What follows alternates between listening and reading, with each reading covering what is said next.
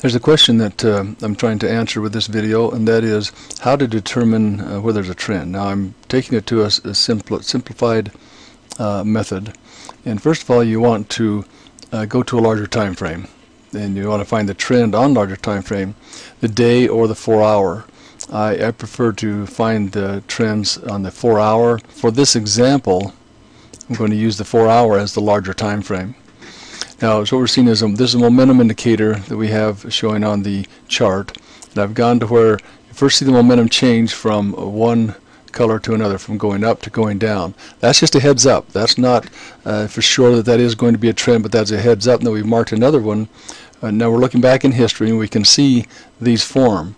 But let's go to a smaller time frame to time the entry. And we'll go to these two spots and uh, see what we're, we're going to find. On the 4 hour, this is where the 4 hour said potentially things were going to be changing. Red and blue arrows, you see, these are uh, called Norwood alerts, and uh, that's another heads up. But you can see anything that you can see in the alert is uh, visually, manually as well.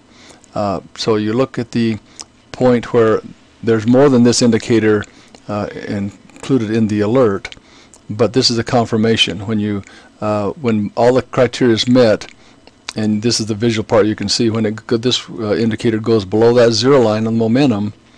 That's the heads up that there's possibly a good trade right there. And so we're seeing it started here.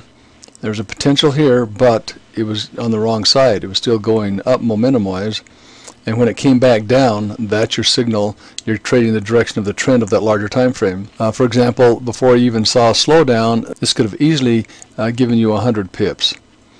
Okay then it went sideways again for a while and so you're out of the market but the four hour let's go back over here to the the four hour. See the four hour now we're right in this area is still showing down momentum even though it's going sideways. So we wait until there's a, a good signal. When it crosses again below the zero line and there's another Norwood alert right here that was the entry signal the alert just helps to bring it to your attention when you're not looking at the computer. So there was a, another 100 pip move. Yes, it did go 130, 40, but I'm just saying you could easily probably get out 100 pips out of that uh, before you started seeing the slowdown. Now let's go back to the 4 hour. We're down to this point right now, so we've taken some pips out of this on a 30 minute and some pips out of this on a 30 minute.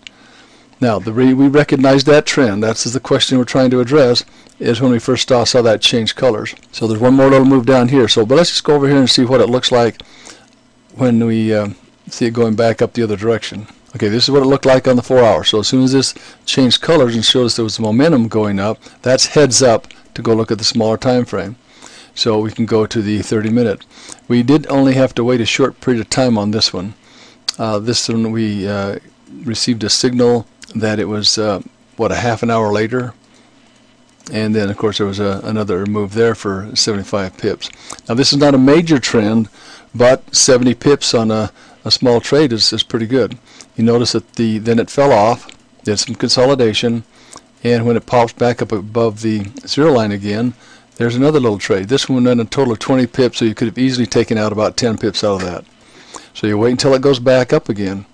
Here's another little trade. This one was another uh, 10 pip trade. You see a few of those. Now when it's uh, not a, this is more of a retracement on a four hour, having had a larger down move, this is a retracement.